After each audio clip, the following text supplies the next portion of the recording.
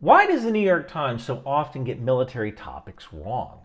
The conflict in Gaza has been raging for about three months now, and Israel effectively lost the information war 10 days into the fight. A big reason for that was the New York Times. I'm going to talk about media bias, but first give me 60 seconds to pay the bills here. This video is sponsored by Private Internet Access. I recently got into the TV show Archer. It is endlessly quotable and hilarious, but not available on Netflix here in America. So I've been relying on private internet access to watch the show. So click the link in the description below or go to piavpn.com slash McBeth to get 83% off, plus four months free. Now, a VPN or a virtual private network hides your IP address so hackers and rogue government agents have a much harder time tracking your online activities. And one of the things that I like is that private internet access is actually open source. You can download their source from GitHub. Private internet access has clients for Mac, PC, and Linux, as well as iOS and Android. And private internet access doesn't limit your devices, so you can be on multiple devices at the same time. When I want to watch Archer, I just fire up private internet access, put it into a UK streaming optimized mode, and watch the show. My computer thinks I'm in the UK, and I can watch the show in peace. So click the link in the description below or go to PIAVPN slash McBeth to get 83% off, plus four months free, and give yourself a much larger Netflix viewing library. Now let's get back to the New York Times. Now this video is probably going to get shared a lot, so allow me to introduce myself. My name is Ryan McBeth. I spent 20 years as a heavy weapons and anti-armor infantryman with a handful of deployments, the last one to Iraq. While serving, I obtained a bachelor's degree in computer science, a master's in engineering management, and after I retired, I got an MSc in cybersecurity. I ended up working for Accenture, where I mainly programmed C4ISR software. This means command, control, communications, computers, intelligence, surveillance, reconnaissance. Basically, I used software to find bad guys, and then I gave that information to my client who would either continue surveillance or use more kinetic measures against the target. So I know a little bit about intelligence collection analysis and how the military works. Also note that all the files associated with this video, search terms, and links can be found at ryanmcbeth.substack.com absolutely for free. Let's get started. On November 17th, 2023, an explosion occurred at Ali Arab Hospital in the Gaza Strip. At 2:12 p.m., the New York Times retweeted, "Breaking news: An Israeli airstrike hit Gaza hospital on Tuesday, killing at least 200 Palestinians, according to the Palestinian Health Ministry, which said the number of casualties was expected to rise." This gets shared about 700 times. By 2:52, the New York Times sends out another tweet saying, Update At least 500 people were killed by an Israeli airstrike at a Gaza hospital, the Palestinian Health Ministry said. Follow our live coverage. This gets shared about 600 times. At 3:46 Eastern Time in the US, the New York Times reports the following on the front page of their website. Israel strike kills hundreds in hospital, Palestinians say. By 6:46 p.m., the headline was changed to Israelis and Palestinians blame each other for blast at Gaza hospital that killed hundreds. But the damage had already been done. So, how did the New York Times get this so wrong? You know, I've been doing YouTube for almost three years now, and I've spoken with quite a few journalists who wanted to interview me. And they wanted to interview me because they're researching stories about tanks or misinformation or anti tank weapons, and they want to get the story right. Nobody goes into work wanting to do a bad job. There's this excellent book by uh, Sidney Dekker called A Field Guide to Understanding Human Error. And it theorizes that there is no such thing as human error. It's really that all human error is a product of competing priorities or focus of attention. Now, Sidney Dekker is mainly known for investigating plane crashes, and it's safe to say that no pilot gets up in the morning intending to crash, right? And by that same logic, no journalist goes into work in the morning going, "Boy, I hope I get a story wrong today. I hope I totally screw it up. I have to I have to print a retraction. I want to totally lose the trust of the public today." Right? Nobody does that. Now, journalists are under enormous pressure in a 24-hour news cycle to be the first to publish. But what if there's more than that?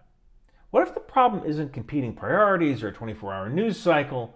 But an underlying culture of military ignorance in the newsroom. When the Ali Arab Hospital explosion occurred, I made a video where I explained how to use Intelligence Community Directive 203, or ICD 203, to analyze the most likely cause of the explosion. And this can be used for almost anything in the intelligence community. ICD 203 is the gold standard in the intelligence community to evaluate probability.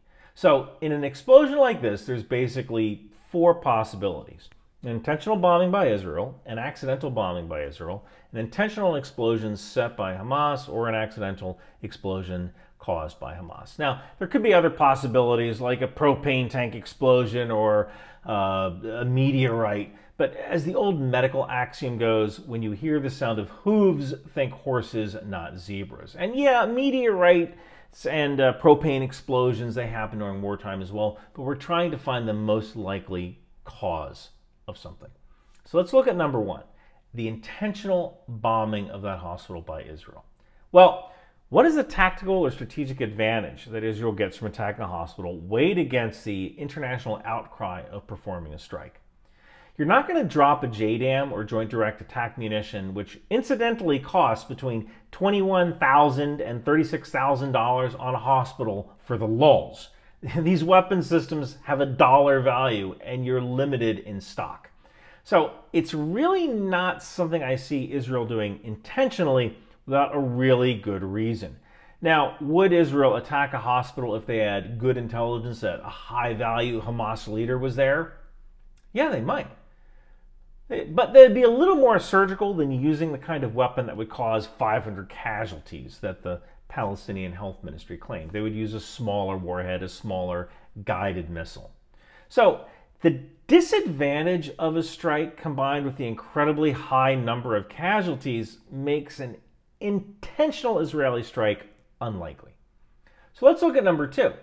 Could this have been an accidental Israeli strike? Well, JDAMs or Joint Direct Attack munitions, like the kind used by Israel, are guided precisely to a location by GPS. It's not unheard of for GPS to fail, especially if there's tall buildings around that can interrupt the signal. I'm sure you've pulled uh, out of a building in your car in the city and your, your GPS, Waze doesn't work, right? Waze has to establish a connection first. So that can happen. But precision guided munitions don't tend to fail that often.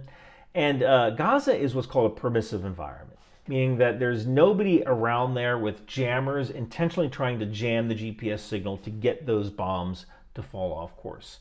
So I would call that an unlikely. So let's look at number three. Could Hamas have intentionally detonated an explosive? I don't think so. Every weapon system has a dollar value, and Hamas knows that it's not going to get any more supplies once the invasion happens. So it wouldn't make tactical or strategic sense to waste a weapon system on what? International sympathy? Plus, the casualty count is way too high. Even the worst vehicle borne improvised explosive devices used in Iraq or Afghanistan caused 50 to 100 casualties, although a recent one in Mogadishu was far higher. So I would call Hamas intentionally exploding a weapon system for international sympathy to be unlikely. But what about number four? What about the possibility of Hamas accidentally causing the explosion with a failed rocket? We've seen it in the past. Between 15 and 20% of Palestinian Qassam rockets fail. So I would certainly call rocket failure to be likely. As it turned out, that's exactly what happened. Now, the thought exercise that I just did with ICD 203 could be done by a 19 year old U.S. Army 35 Foxtrot all source intelligence analyst after about 13 weeks of training. So, if a 19 year old kid could do it, 19 year old kid who didn't even go to college, why couldn't the New York Times?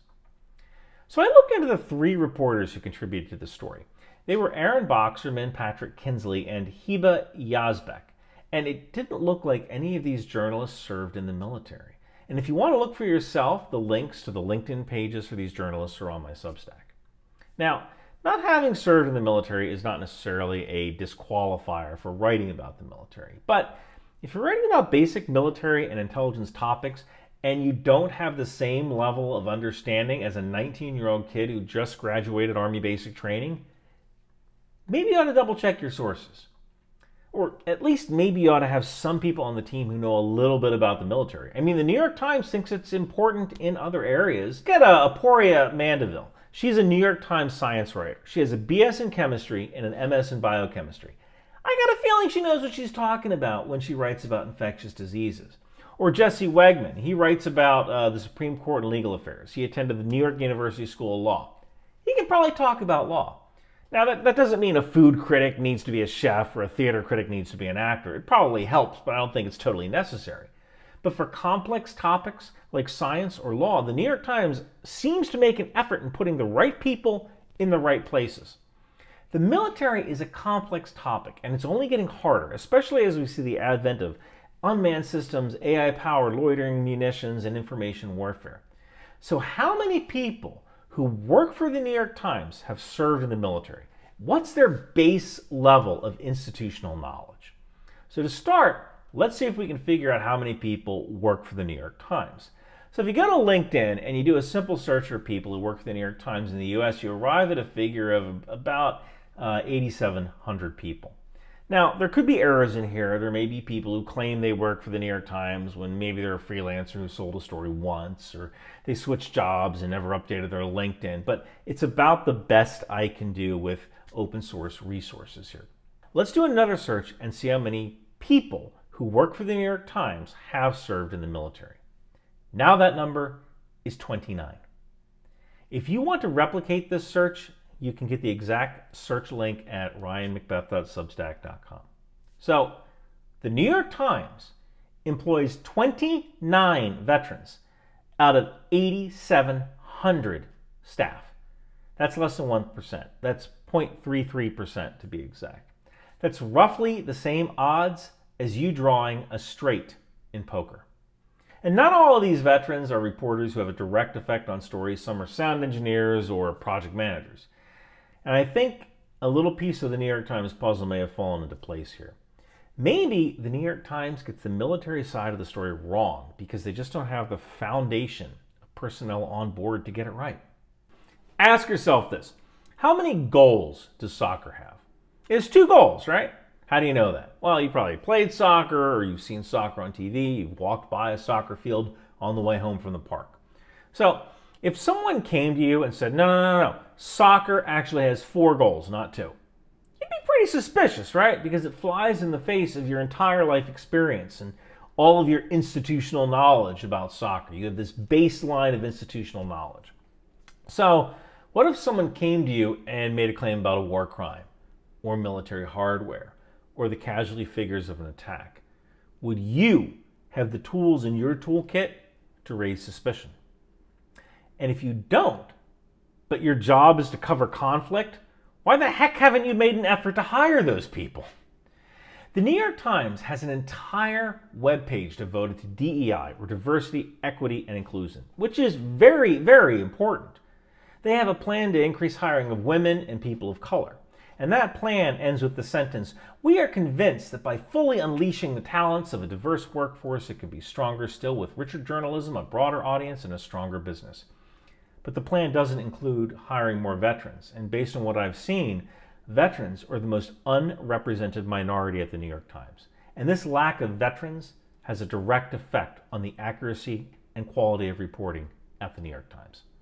Okay, so, so maybe other news organizations are getting it right. Maybe other newspapers have made an effort to hire veterans. Out of 3,400 staff, the Wall Street Journal only has eight ex military employees. That's 0.21%. The Washington Post is a little better. They have 19 veterans out of 3,500 staff. That's 0.54%. Now, I tried to do something similar with cable news. I found out that most on air talent doesn't tend to have a LinkedIn page. Uh, that might be more of an entertainment industry thing where perhaps getting a job is more related to who your agent knows than who you know on LinkedIn. So this might not be a fair comparison, but I tried comparing cable news reporters and contributors with lists that I mainly pulled off of their websites. Fox News has the highest number of veterans on staff 10 out of 164 reporters and contributors. Newsmax was second with 4 out of 26. Uh, incidentally, Newsmax has the highest percentage of veterans in their staff. MSNBC was next with 1 out of 44 reporters being veterans. And CNN doesn't have a single military veteran as a reporter or contributor out of 155 reporters. Fox News and Newsmax are an American news outlet that tend to lean right in their reporting, so it might not be a surprise that they hire more veterans on staff. The New York Times tends to lean left, and I'm kind of reminded of a famous quote about the Hells Angel Motorcycle Club. In a 1966 interview with Ebony magazine, a white Hells Angel Club member was asked if there was race prejudice in their motorcycle club because it didn't seem like there were any black members of the Hells Angels. To which the Hells Angel replied that there was no specific prohibition on black members, but nobody who was black ever tried to join. So maybe veterans don't try to join the New York Times, and the New York Times doesn't make a particularly special effort to reach out to them. Now, like I said before, just because you didn't serve in the military doesn't mean that you can't write about the military. I mean, after all, if you look at CNN, they have zero reporters who are military veterans, and I don't think you would consider Christiane Amanpour unqualified to talk about military operations. But I think this lack of veteran representation increases the risk of newspapers getting the story wrong. You know, I read the New York Times every day. I'm usually up at 5 a.m. and I have a routine. I check my email. I check my Twitter. I go over some defense and cybersecurity related newsletters that I get. I drink my coffee. I read the Wall Street Journal, the New York Times, Reuters, Ground News, and now with the war in Israel, I read Haaretz. And I saw this article in the New York Times. U.S. military returns to jungle training for a very different threat. Note that the two journalists who reported on this story, Damien Cave and Mark Abramson, are not military veterans. It wasn't a bad article. And then I got to this portion where I saw this very simple but embarrassing mistake. It was about a river crossing. During the river crossing, even competent officers drifted and needed help. At one point, as the cloudy sky turned charcoal gray at sunset, a soldier's M4 machine gun fell to the murky bottom, slowing everyone down until it could be recovered. An M4 isn't a machine gun. It's a carbine. It even says it in the manual. I would even accept the word rifle. Machine guns, on the other hand, tend to be belt fed, crew served, and have interchangeable barrels that are capable of sustained automatic fire. A soldier who completed 10 weeks of basic training wouldn't get this wrong. So, why did the New York Times get a, such a simple fact wrong?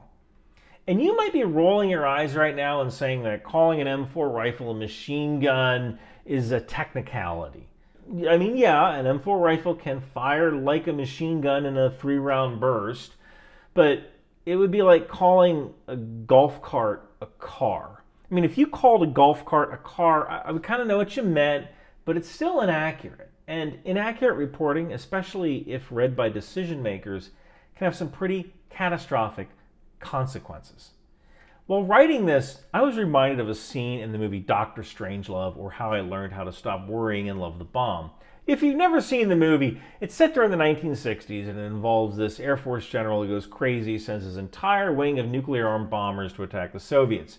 When the Soviet ambassador is called by the president to be informed of the events, he lets the presidents know that if a single bomber drops a nuclear weapon on Soviet territory, a doomsday device will detonate and destroy the Earth. When asked by the American president, why would you build such a device? The Soviet ambassador responds that he thought the Americans were working on one, so they needed one too. Our source was the New York Times. So maybe this is a joke. Or maybe the New York Times has been getting military stories wrong since 1964. The fact is that we're going to keep seeing this, at least until the newsrooms make an effort to hire more veterans and establish a base level of institutional military knowledge. Hey, if you want to fact check me and my results, everything is available for free at ryanmcbeth.substack.com. Although I do not have the funding of the New York Times, so if you want to toss me $5 on my Substack, I'd really appreciate it. You can also support the channel by buying one of my Landmine t shirts from Bunker Branding. Every cent goes to help making content like this. Thank you guys so much for watching. Take us out 80s training video. In a world where fashion meets firepower, where style becomes strategy, it's time to gear up for the ultimate mission with Bunker Branding. Introducing the Rock Out With Your Chalk Out t-shirt, a tribute to the fearless air cavalry. Feel the adrenaline rush as you don the pride of the skies. For those of you who dare from the air, precision and power unite when you think outside the bomb. And don't miss our Live, Laugh, Launch t-shirts for Patriot and HIMARS, because sometimes defending freedom means bringing the thunder. Finally, for the true defender of the seas, we present Department of the Boat People. Sail with honor and show your allegiance to the world's mightiest maritime force. with these shirts, hoodies, and stickers, along with the TOW missile, landmines, and drone warfare. These aren't just shirts, they're statements. They're your way of saying I stand for strength, unity, and style. Get yours at Bunker Branding today.